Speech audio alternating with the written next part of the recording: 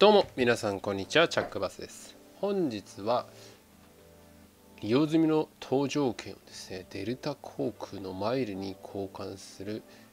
方法を公開しますということで利用した搭乗券ってすぐに捨てていませんか？そのような方に今回デルタ航空のマイルに交換する方法っていうのをね公開したいと思います。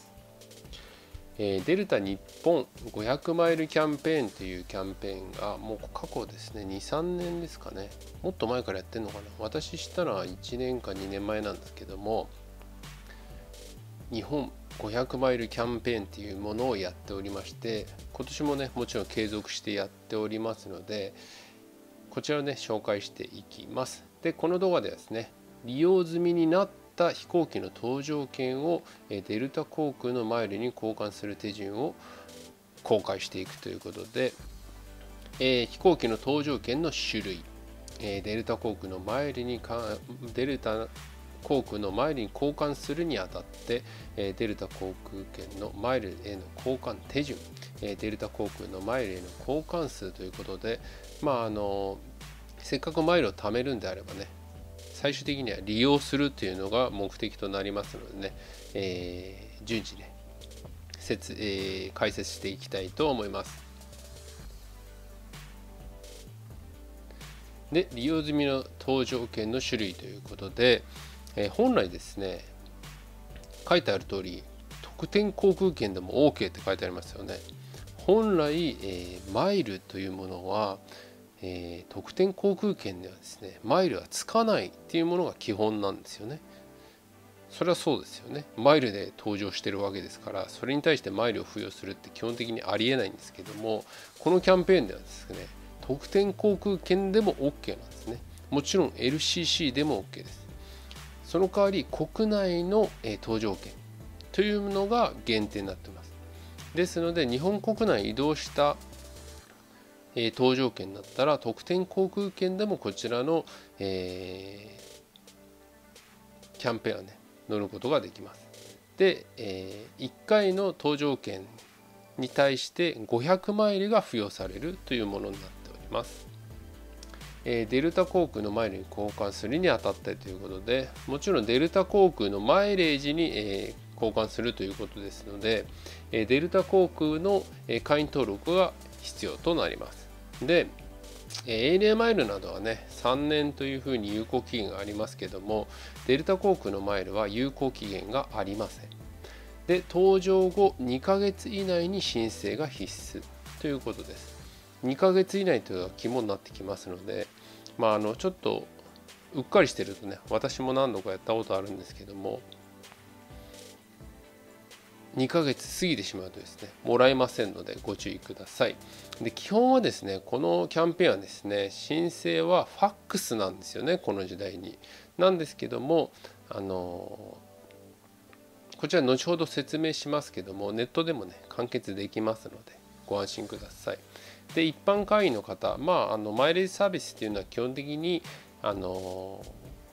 会員登録すると一般会員になりますよね。で、え入会することができますので、え年間に5000マイルまで獲得することができるということですので1回の獲得が500マイルということですので、えー、10回もらえるというものになっております。でメダリオン会員の方は2万マイルまで交換することができます。まあこちら上級会員ですね。で、えデルタ航空のマイルへの交換手順ということで本来先ほど言った通りファックスで申請が必要必須だったんですけども今はねネットで申請が可能ですということです。でこのクレキチ .com さんという方がですね構築してくれたシステムでえネットでね申し込めるようになっております。搭乗券は社メールで添付して、え申請するということっております。でこちらのですねリンクをですねこの動画の概要欄に、えー、記載しておきますので、まあ、これからね利用していきたいもしくは、えー、特に出張数が出張とかね国内旅行が多い方は、えー、何にもしなくても年間5000マイル獲得できるというものですのでやっといて損はないかと思うんですよね。で、えー、概要欄に貼ってあり貼っておきますのでぜひ利用してみてください。で、えー、デルタ航空のマイルの交換数ですね、まあ、結局マイレージサービスというものは、まあ、利用しないとね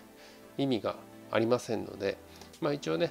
簡単ではありますけども、えー、デルタ航空東京ソウルが7500マイル、えー、ビジネスクラスだと、えー、1万5000マイルが、えー、利用という、えー、利用できるということになっております。でまあせっかくですのでまああの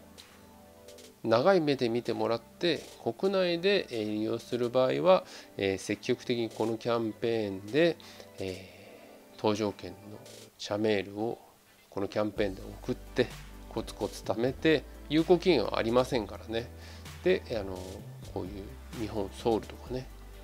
台北とかマニラとかそういう場所に特典航空券でね行かれたらいいんじゃないかなと思います。まあ、もちろん無料でね無料でまあ使用税とかかかりますけどもまああの実質の飛行機代というものはねマイルでカバーされて旅行できますのでこういう意味ではすごいいいですよね。で最終的にまとめです。で国内航空券なら何でも OK ということで特典航空券でも行けますので、まあ、ANA マイルを貯めている方など、えー、国内のね特典航空券たくさん使えます。もしくは SFC 修行 JGC 業をね国内でされている方は正直すぐ上限の5000マイルまですぐもらえるんじゃないかと思いますので是非ね申請されることをお勧めします。でデルタ航空の有効、えー、マイルにね有効期限はありませんのでこれもおすすめのポイントとなっております。で、えー、キャンペーン自体はね、えー、毎年過去数年ね継続されておりますのでしばらく続くんじゃないかなと予想されております。いかがだったでしょうか？今回はデルタ航空の、えー、日本500マイルキャンペーンを紹介させていただきましたけどもまあこの特典航空券でマイルが貯まるっていうとても不思議なキャンペーンではあるんですけどもせっかくね国内旅行国内の移動とかでね、えー、国内線を利用されている方はですね LCC でもつきますからそういう意味では積極的に狙っていった方が